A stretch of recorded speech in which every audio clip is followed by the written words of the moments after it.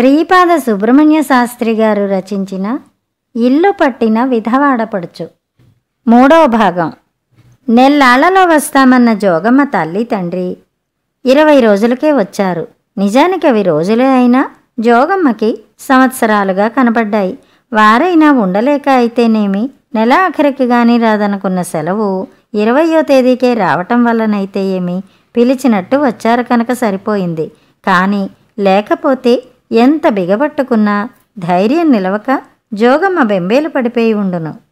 అక్కడికి పెట్టెలో పెట్టుకు వచ్చిన మినపసున్ని బుట్ట మిఠాయి బుట్ట పైకి తీస్తూ తలవని తలంపుగా తన మొహం చూసి అదే మీ మామ అంతకంప అయిపోయావు అంటూ తల్లి చేతులు చాపేటప్పటికీ దుఃఖం ఉబ్బెత్తుగా పొంగుకురాగా తల్లి మీద వాలి బావురుమనిపోయిందామె. తర్వాత బుచ్చమ్మ వెయ్యి కళ్ళతో కనిపెడుతూనే వచ్చింది. కానీ సందు చేసుకుని జోగమ్మ ఇక్కడి సంగతి అంతా ఆ వేళే మధ్యాహ్నం భోజనాలకి లోపునే తల్లికి చెప్పేసింది. పూర్ణమ్మకి అరికాలమంట నెత్తికి వచ్చింది. సగం అయినాక వచ్చి విని వెంకటాచలం కూడా చాలా ఆగ్రహపడ్డాడు.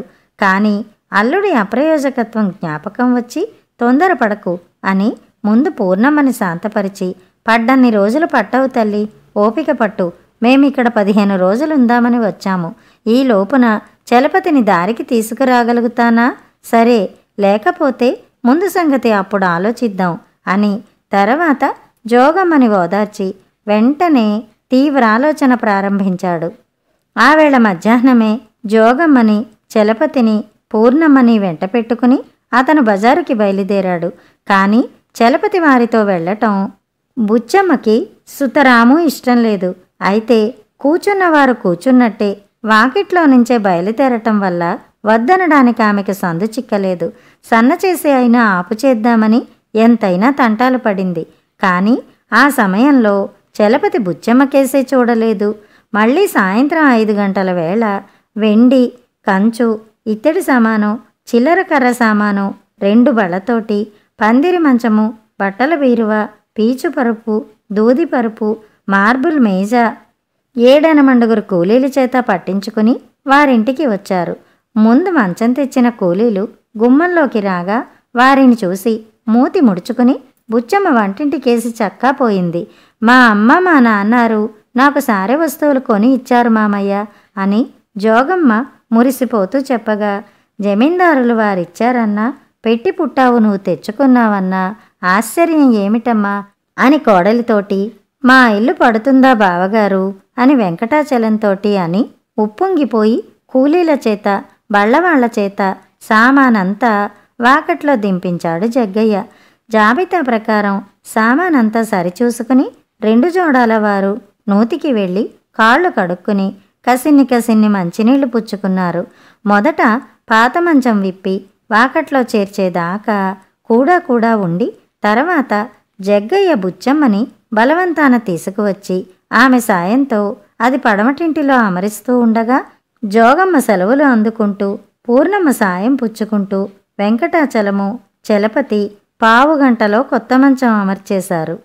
తక్కిన సామాను కూడా గదిలోకి చేరేదాకా సాయపడి ఇక నా వల్ల కాదమ్మా కాకపోయినా వియ్యపురాలినైతిని మీ ఇంటో నేను చాకరీ చెయ్యటం ఏమిటి? ఎవరైనా చూస్తే నవ్విపోతారు సిగ్గు సిగ్గు అంటూ చలపతి కేసి ఓరచూపులు చూసి జోగమ్మకి కన్నుగీటి వాకిట్లోకి వచ్చి చతికిలబడి తర్వాత ఆ సామాను సర్దడంలో ఒకరికొకరు సలహాలు చెప్పుకుంటూ ఒకరికొకరు సాయం చేసుకుంటూ మధ్య మధ్య ఒక్కొక్క మాట నీకు తెలవదంటే మీరెరగరండి అని వాదించుకుంటూ నాకు తోచింది చెప్పాను ఆ పైన నీ ఇష్టం అంటే నేను అనుకున్నది చెప్పాను ఇక మీ మనసు సుమండి అని మళ్ళీ అంతలో సమాధానపడుతూ జోగమ్మ చలపతి సరదాగా తిరగడం చూసి వెంకటాచలం కేసి సాకుతంగా చూసింది పూర్ణమ్మ. వెంకటాచలం ముసిముసి నవ్వులు నవ్వుకుంటూ కవాచీ బల్ల మీద తువ్వాలు పరుచుకుని నడుం వాల్చాడు. తెచ్చిన వెంటనే వస్తువులు వాడుకుంటే వేరే ముహూర్తం అక్కర్లేదట అంది జోగమ్మ. అవునుట అన్నాడు చలపతి. అన్నట్టు రేపు పొద్దున్న మీరు కోరుకున్న కుర్చీ కొంటారుట మా నాన్నారు అంది జోగమ్మ. నీతో చెప్పారా? మా అమ్మ మా నాన్నారు అనుకున్నారు. మా అమ్మ మేజా కూడా కొనియమ్మంది అతని మొహం విప్పారింది.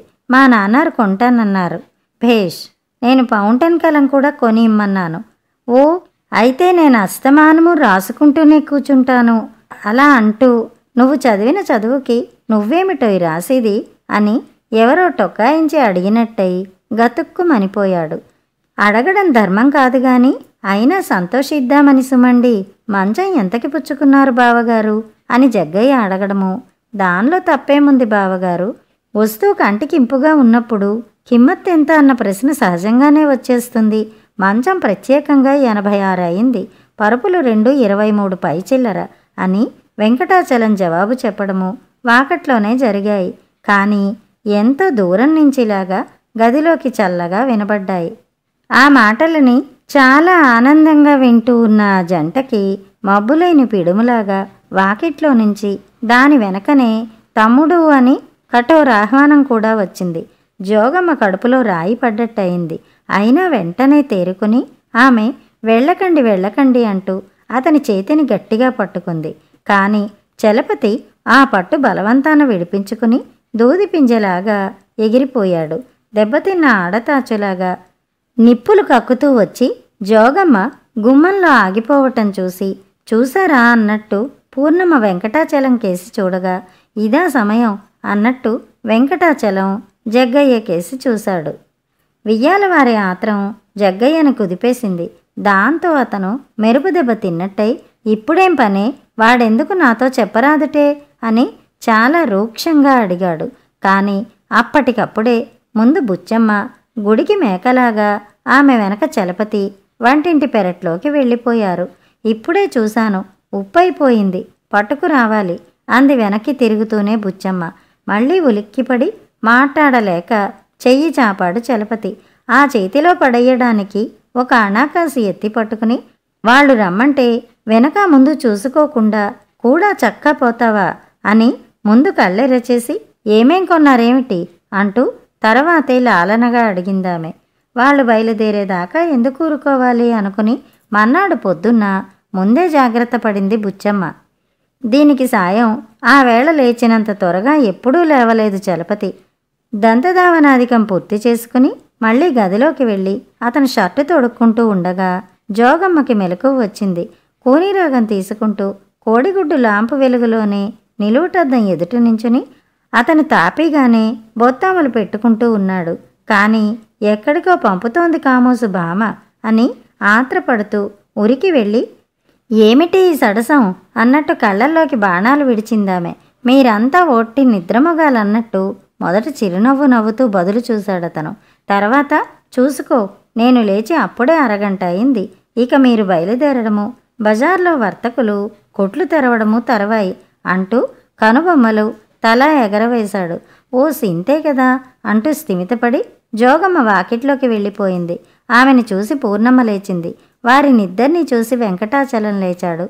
వాకట్లో వీరి సందడి విని గాదిసావిట్లో జగ్గయ్య లేచాడు. వీరినందరినీ చూసే సూర్యుడు పొడుపు కొండ మీద తోచాడు.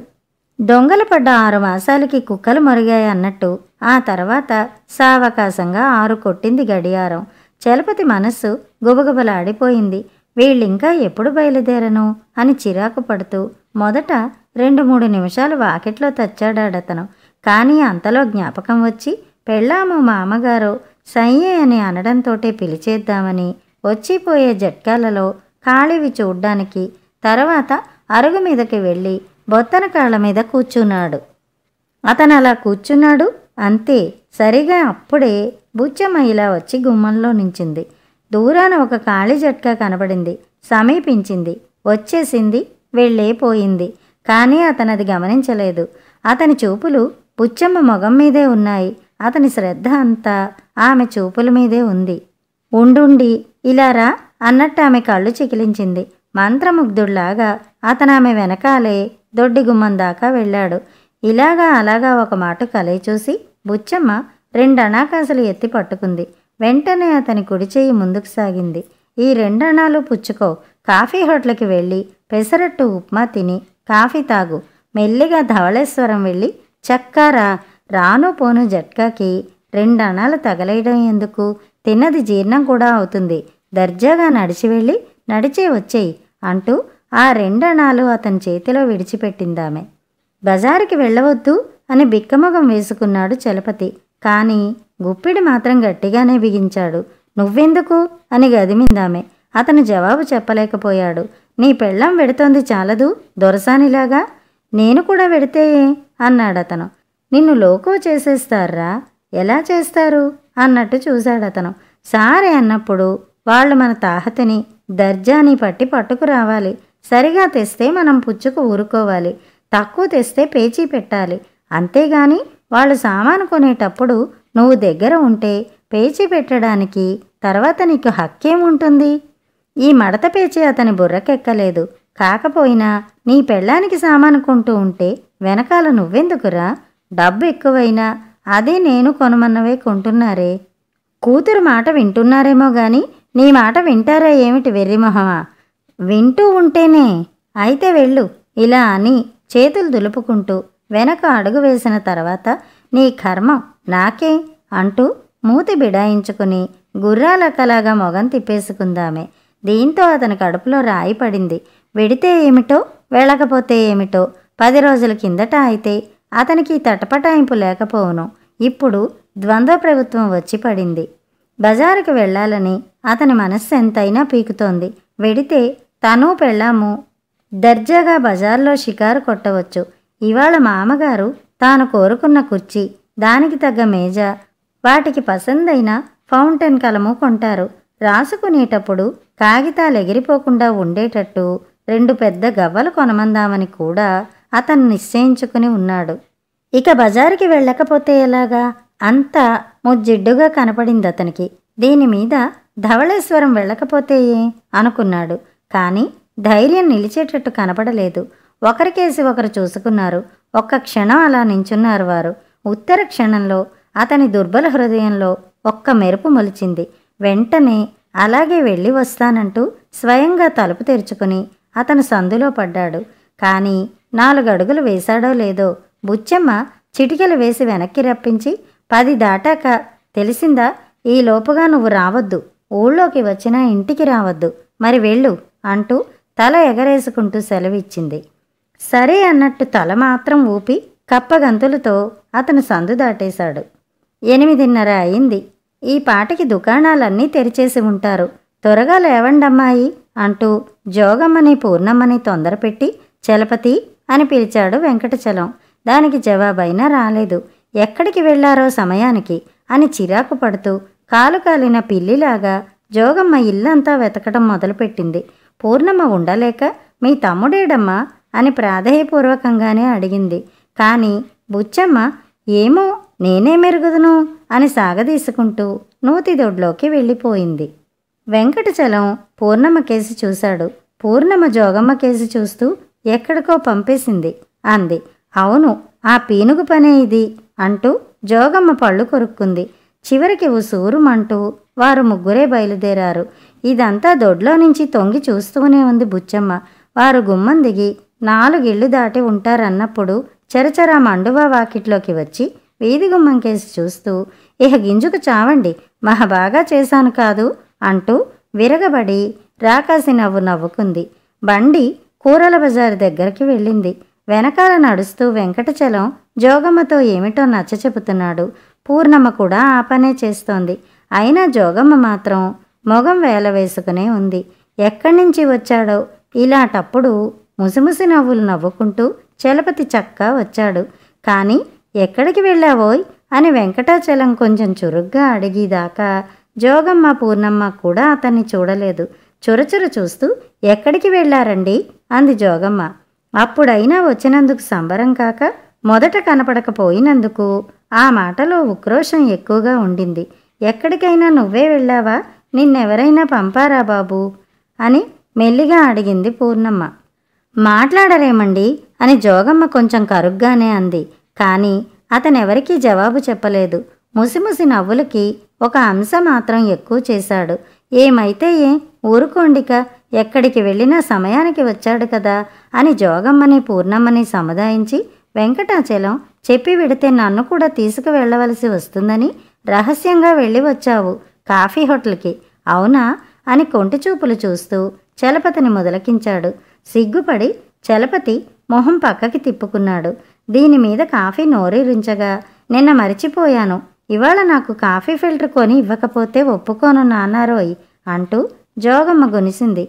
అవునేవు నేను మరిచిపోయాను చూసావా? ఇవాళ తప్పకుండా కొంటాను. ఇడ్డెళ్ళ పాత్ర ఇంచక్క ముద్దొస్తూ ఉంటాయి. రెండు మూడు జతల పింగాణి కప్పులు కూడా కొంటాను. సరా అని కూతురికి పూర్ణమ్మ వాగ్దానం చేసింది. అయితే వెండి కప్పులు సాసర్లు ఎందుకమ్మా మరి? కాఫీ పోసి పొయ్యటంతోటే అవి వేడెక్కిపోతాయి. కాఫీ వేడికి నాలుక కప్పు వేడికి పెదవులు చురుక్కుమనిపోతాయి. ఏమి సుఖమో? కనుక మధ్యాహ్నం తీసుకువెళ్ళి మళ్ళీ అవి షావుకారికే ఇచ్చేద్దాం బతిమాలి. తర్వాత మరో రెండు జతల పింగాణివే కొనిపెడుతుంది మీ అమ్మ. నీకు దర్జాగాను అన్నాడు వెంకటాచలం చిరునవ్వు ఆపుకుంటూ. చూసావుటే అమ్మా నాన్నార్ని అని జోగమ్మ గారం కుడవగా కళ్ళు చికిలించుకుంటూ పూర్ణమ్మ వెంకటాచలం కేసి చూసింది.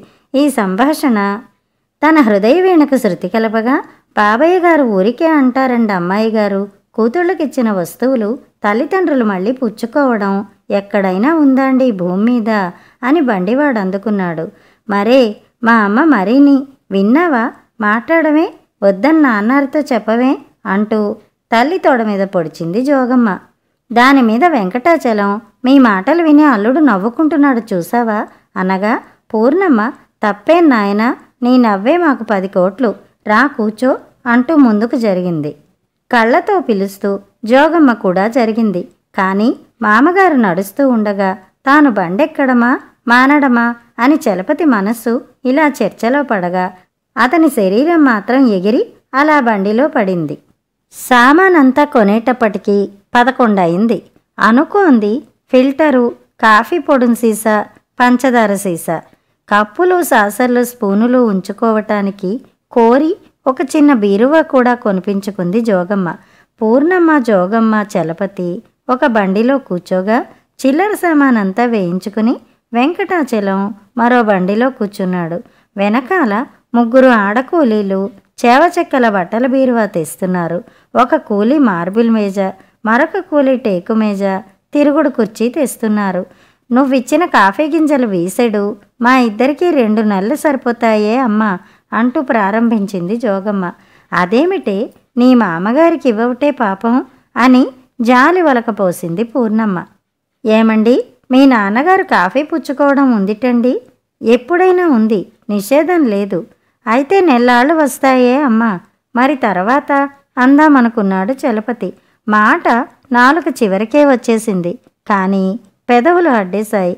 నన్ను అడగడం ఎందుకే? కాకపోయినా మీ సంగతి నాకేం తెలుస్తుంది? రెండు మాసాల్లో కాదు. నెల పదిహేను రోజుల్లో కాదు. ఒక్క వారం రోజుల్లో కానిచ్చేసుకోండి. మాకేం? ఉట్టి ఫిల్టరు అవి ఇవ్వకూడదని? వీసడు కాఫీ గింజలు? వీసడు చక్కెర ఇచ్చాం. వాటి కోసం రెండు రూపాయలు పై దాటింది మాటలా అని కళ్ళు తిప్పుకుంటూ మొదలకించింది పూర్ణమ్మ.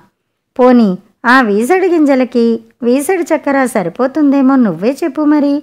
అది అయిపోతే మీ వంటింటో పొయ్యి మీద రెండు బెల్ల బుట్టలుండనే ఉన్నాయి. అత్తగారిలా అనగా చలపతి ఉలిక్కి పడ్డాడు. జోగమ్మ కూడా మొదట మాట్లాడలేకపోయింది. కానీ వెంటనే నిదానించుకుని అవి కూడా అయిపోయాక? అంది. ఏమో నాకు తెలవదు. నన్నడక్కు అంటూ మొహం పక్కకి తిప్పుకుంది పూర్ణమ్మ. కొని పెట్టకపోతే పోయింది. సలహా అయినా చెప్పడానికేమే మా అమ్మ? అంటూ జోగమ్మ తల అడ్డంగా ఆడించుకుంది. పూర్ణమ్మ మాట్లాడలేదు. మొగం కూడా ఇలా తిప్పుకోలేదు. జోగమ్మ ఒక్క మాట నిదానించి చూసింది. చలపతి కేసి చూస్తూ చిన్న మందహాసం కూడా చేసింది. చివరికి పోనీ తెల్లగానే ఉంటుంది కనుక? తొమ్మిది కాన్లు పెడితే రెండు సేర్లు కూడా వస్తుంది కనుక? మెత్తగా కొట్టుకుని ఉప్పు వేసుకుంటామే ఏమే అమ్మా? అని కొంటచూపులు చూస్తూ అడిగింది. ముగ్గురు పకాలు మనిపోయారు అప్పటికి బళ్ళు వైగ్రాన్ రోడ్డు మొగలోకి వచ్చాయి. బండివాడు తప్పుకో తప్పుకోమంటూ ఒక కావటివాణ్ణి అదిలిస్తున్నాడు. ఆ నవ్వెందుకు చెప్పమా? అంటూ వెంకటాచలం తొంగి చూస్తున్నాడు. ఈ సమయంలో జోగమ్మ తెల్లబోయి అదేమండి? దిగిపోతారేమండి అని ఆత్రంగా అడుగుతూనే ఉండగా జవాబు చెప్పకుండా గభీమని కిందకి ఉరికి నాళం వారి సత్రం కేసి లఘువులు వేశాడు చలపతి. వివరాలు చెబుతూ వెంకటాచలం సామానంతా చూపించగా జగ్గయ్య పరమానంద భరితుడైపోయాడు. తర్వాత జోగమ్మ ఒక్కొక్కటే కాఫీ పరికరాలు తెచ్చి ఎదట ఉంచి వాటి కోసం కొన్న బీరువా కూడా చేతికి అందేటట్టుగా పక్కగా నిలవబెట్టి ఫిల్టర్ విడదీసి చూపిస్తూ బోధించి మన ఇంట్లో పగలు పదకొండు గంటలకే భోజనాలు అయిపోతాయి కనుక మళ్ళీ రాత్రి ఏడున్నర దాకా ఉండడం కష్టం. రోజు మూడు గంటలకి నేను కాఫీ చేస్తూ ఉంటాను. మీరు కూడా పుచ్చుకోవాలి సుమండి. మీరు గనక పుచ్చుకోకపోతే మేము మానేస్తాం. ఏమనుకున్నారోనో అని తండ్రితో లాగా చాలా చనువుగా చెప్పింది. దీనికి మరీ పొంగిపోయాడు జగ్గయ్య. అలాగే పుచ్చుకుంటాను తల్లి. మీరేమీ మానుకోనక్కర్లేదు.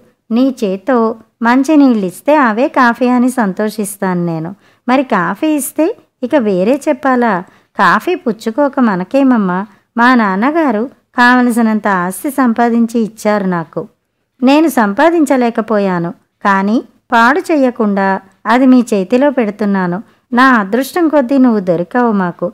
మీ నాన్నగారు ఒకటి నేనొకటి కాదు సుమా తల్లి అంటూ ఆ సామాన్ ఒక్కటొక్కటే పుచ్చుకొని చూసి మెల్లిగా కింద ఉంచి దాచుకోమ్మా అన్నాడతను. అది విని కూతురి తెలివితేటలకి జగ్గయ్య వాత్సల్యానికి పూర్ణమ్మ వెంకటాచలము చాలా సంతోషించారు. ఏమి ఎరగనట్టు మెల్లిగా ఈ సమయంలో వచ్చాడు చలపతి. ఏం నాయనా బజారుకి వెళ్ళలేదు నువ్వు? అని ఆత్రంగా అడిగాడు జగ్గయ్య. ధవళేశ్వరం వెళ్ళాను నాన్న అన్నాడు చలపతి. జోగమ్మ పూర్ణమ్మ వెంకటాచలము ఉలిక్కి పడ్డారు ఎవరు పంపారు? అక్కయ్య. ముగ్గురు మనం అనుకున్నదే కాదు అన్నట్టు మళ్ళీ చూసుకున్నారు. ఎందుకు? అని కొంచెం కరుగ్గా అడిగాడు జగ్గయ్య. ఏం చెప్పాలో తోచక చలపతి దిగ్గులు చూస్తూ ఉండగా గభీమని వెంకటాచలం అందుకుని సంసారి అయిన వాడికి అనేక పనులుంటాయి. పని పట్టి ఆరా తీసేదేమిటి బావగారు? అని సర్ది చెప్పాడు. నేను ఇంట్లో ఉన్నాను కదా వెళ్ళేటప్పుడు నాతో కాస్త చెప్పకూడదు? అని కొంచెం రోషంతో అడిగాడు జగ్గయ్య.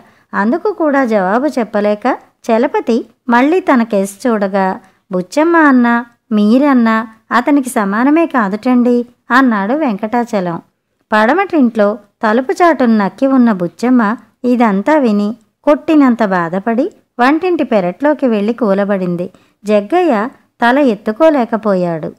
మీ అమ్మా నాన్న వెళ్ళారా? ఇంకా ఉన్నారా చెల్లాయి? నూతిపళ్ళెంలో వెండి కంచం కడుగుతూ ఉండగా జోగమ్మకి మాట వినపడింది.